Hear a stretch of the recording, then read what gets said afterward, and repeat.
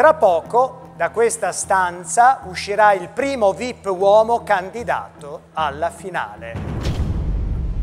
Il televoto che io aprirò stasera porterà all'elezione del secondo finalista che sarà naturalmente eletto venerdì alla prossima puntata.